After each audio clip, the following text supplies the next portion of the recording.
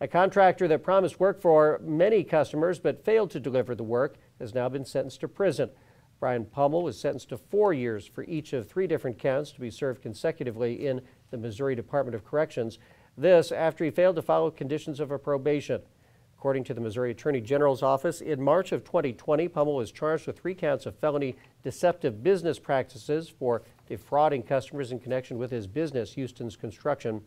Court documents say Pummel promised to perform construction work on detached garages and pole barns, but uh, after getting payment, he never did the work. Pummel pleaded guilty in May of last year and was placed on probation.